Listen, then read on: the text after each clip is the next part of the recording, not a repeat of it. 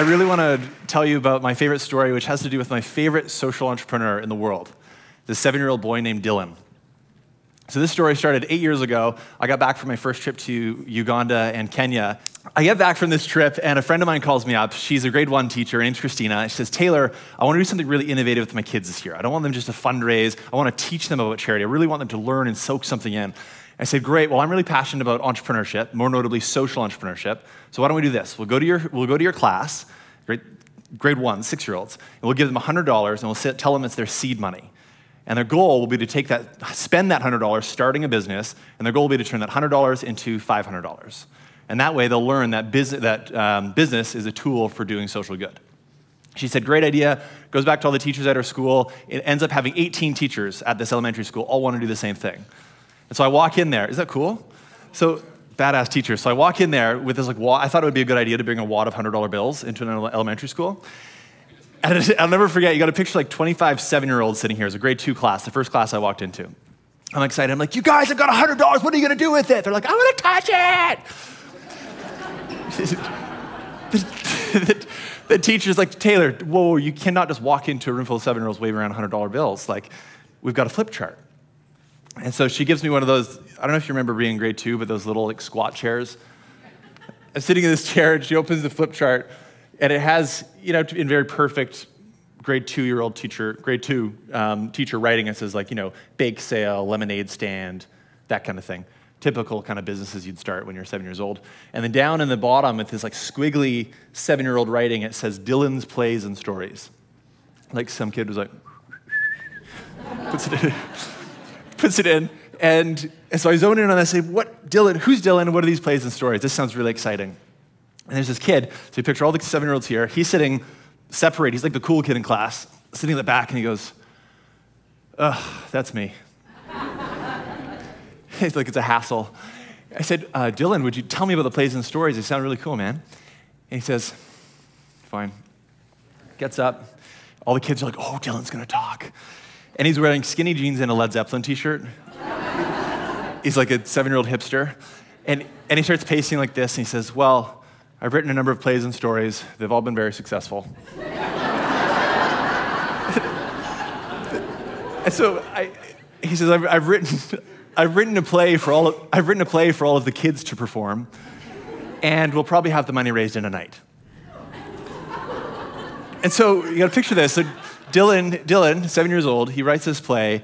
They put on a play night. They charge their parents to come watch them. Can you imagine that, like seven year old hip, seven year old like bouncer, like, what's your name? I'm your mother. and so they, they put on this play night. They, they do it. They, then they sold them pizza and Coke and all the things, and they turned their $100 into $500 in a night. And I didn't, get a, I didn't hear from that school for about two months.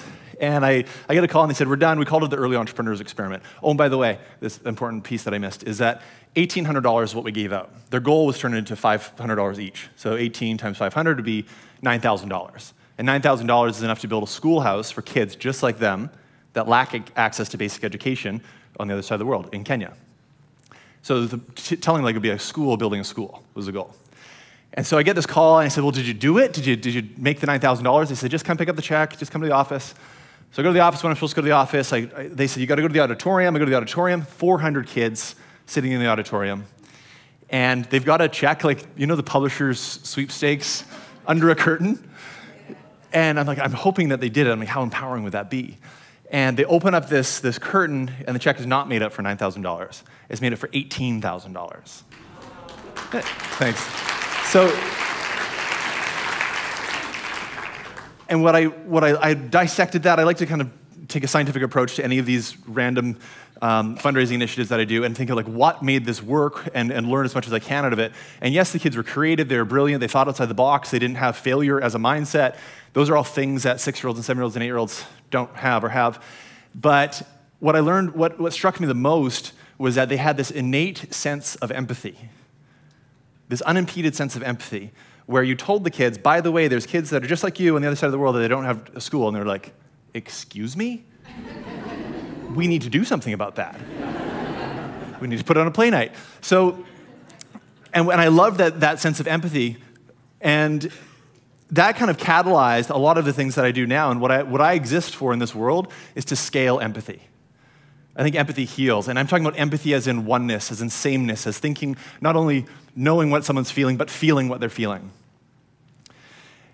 And I wasn't as fast in life as Dylan was at finding something that you know, was my calling. It took me a little bit longer. Um, like this guy, that's me eight years ago. my favorite pose. And that's strutting around in front of about 400 people in a pair of bright blue man panties. And I'm wearing them right now. And my, my power panties. Uh, can you see the tan from there? I don't know if you can see it. Like, you have to lather that thing on at 12 a.m., 2 a.m., 4 a.m., and 6 a.m. to get it that dark. And obviously, no one told me I was supposed to put it on my face, too. so, yeah, quite the character. Anyways, I like showing this picture not only because of the panties, but and the little naked man trophy I'm holding, but because this was the epitome or like the pinnacle of my outward search for happiness. This guy existed for one person and he's on that screen. And after a lot of trying to find fulfillment in all these different places in money, in relationships, in physical fitness, I decided none of those were working. I was 28 at the time, and I said, I'm going to go on a trip. I'm going to actually start giving. I'm going to change my own life paradigm a little bit. And this generation, a millennial generation, or slightly older than the millennial generation, we are somewhat disillusioned with nonprofits as a, as a whole. And we want to know where our money is going. I find it's a thing that is, is repetitive in this, in this culture. And so I decided, and I'm stereotypically one of those people, and so I decided I was going to go on a trip, I was going to find a cause that I could really sink my teeth into. And I went on a trip to Uganda, I went to Kenya, I checked out a whole bunch of different nonprofits. This is the first one, uh, or this is the first village that we visited. And this is on the, on the border of the Congo in, in the Rwenzori mountain range. And I remember getting up to the top of this, this, uh, this mountainside and saying to my guide, I said, This place is incredible, it's beautiful, I love it. It's, it there's so many kids. Where are their parents? My guide looks at me and says, Well, Taylor, uh, 70% of this village has AIDS. Their parents are dead.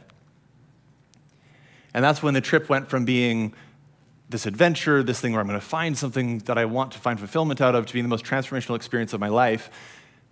And the biggest, I guess you could say, empathy builder of my life as well. Because when I met these two girls, something happened in my brain or my heart or my mind or my soul, however you want to say it, that these walls kind of came crumbling down in my head of this separateness of I'm different than people living in Uganda or people living in Mexico or people living in Guatemala or Sierra Leone or wherever it is. All these walls came tumbling down, and I literally felt like I felt what they were feeling. And knowing what their life trajectory was like, it made it completely impossible to do anything but contribute to ideally making their life a little bit happier. So I decided I would start with one thing. I would get home to Western Canada, and my goal was to raise enough money to build a schoolhouse for kids like this. I knew it would cost about $10,000 to do. So I looked into crowdfunding. I thought, okay, I'll just get a whole bunch of people to give $20. Then I did some quick math. I would have to get 500 people to give $20 to raise $10,000. I don't have that many friends. And, and so I decided I'd come up with this equation, something a bit different, and it goes like this 33 people giving $3.33 a day for three months adds up to $10,000. So a group of people, like this tiny section of people here that are sleeping right now in the beanbags, um, wake up! Uh, giving the price of a cup of coffee a day for three months adds up to enough to build a schoolhouse for kids that will educate roughly 1,000 kids over the next 20, or over the next 20 years, which is mind-blowing to me. And so I set this goal, and I didn't want to do the whole crowdfunding thing, well, kind of crowdfunding, but I did this equation. I made a little website um, like this, and I sent it out to my 33 friends, each a personal video to each one of them. And the video that would play would say, like, let's say I was sending this to Vishen. It'd say, hey, Vishen, really excited about this. We're going to build a school in Kenya. Watch this video. It's going to tell you everything you need to know. Then this animated video would come on because you know Vishen's going to have questions. And it says hundreds and hundreds of kids are going to get educated. You're going to get a Facebook cover photo to show everything that you've done. You're going to get a tax receipt, Vishen, because I know you do your taxes. It's going to say that it's the price of a cup of coffee or a slice of pizza or parking downtown for two hours. It's less than the tip that you would leave at a restaurant. And if you give this 333 a day, your mom's gonna be really proud of you. so send that out to my friends, really like hack together this, this site on YouTube and Dropbox and whatnot. Sent it out, and all my friends gave. We raised $10,000 in 24 hours, which blew my mind. And then I'm guessing, like, I love talking to rooms like this because we're all the same way. We're thinking, well, what if you had 10 people do it? Then if 10,000 people do it. So you, you get that vibe, right?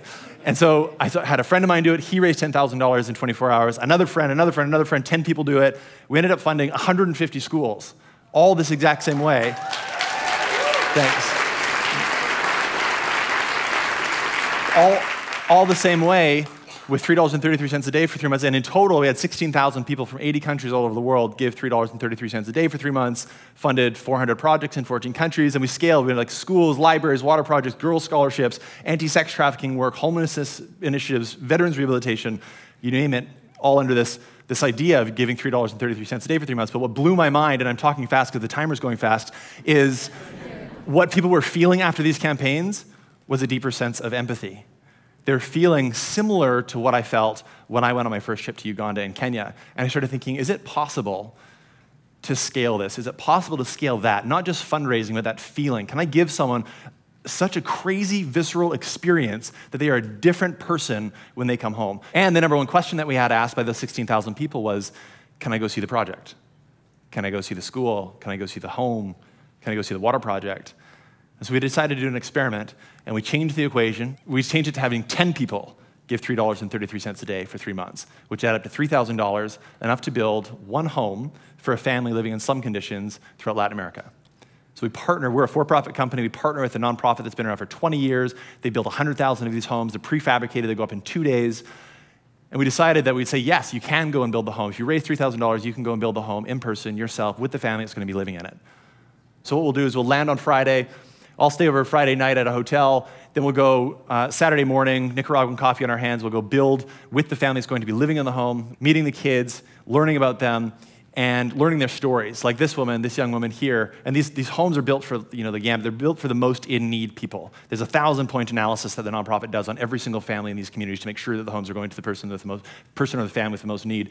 Like this young woman on the right, uh, her name's Yorling. She's 18 and she's pregnant. And currently, well, prior to her receiving a home, was sleeping on the ground in her mother's home, which was made of tarps and two by fours. And on the left is Angela, who helped her build her home. This is what happens on the second day of, of our build trip. So you build all day Saturday, build all day Sunday. At the end of the day on Sunday, if we all work our butts off, the house is done. We have a ribbon cutting ceremony. Those hands belong to a 95 year old man named Senor Rodriguez. And Senor, Senor Rodriguez has never had a brand new home. He's been on the earth for almost a century. And I would love to tell you how he felt, but I think this does a better job.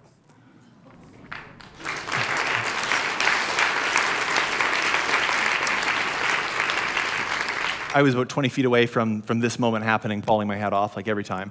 And, and watching Marlon, 40 year old nightclub producer who built Senor Rodriguez's home, who raised enough money to build Senor Rodriguez's home, built it alongside him. I'm watching Marlon have that moment that I had, watching him cry and knowing that he'll never be able to go back from that moment. And I'm watching empathy be created in someone that already had empathy, of course, but maybe it's you know, going from a two to a 10 or a three to a seven or something like that. And, and it was a beautiful moment. And so after this, we go to the beach, we do surfing, we bring amazing yoga teachers, we do three days on the beach. Um, this is Danielle Rosati from New York, an incredible yoga teacher. And we do meditation, but most of all, we create community around this thought of shared empathy. Every single trip, I feel all these feelings. I feel shame, I feel guilt. I feel depressed. I feel hope. I feel optimism.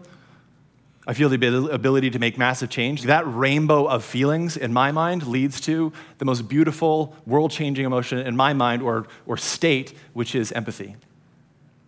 Because I believe that a world where we truly all genuinely feel empathetic, where we feel like we're the same as every single other human being on this earth, is a world that legitimately could not have war. It's a world that would not have gender inequality. It's a world that would not have poverty. It's a world that I know that I'm, that I'm here to help create. And the reason I'm standing right here is because I want to create that world with every single one of you. Thank you.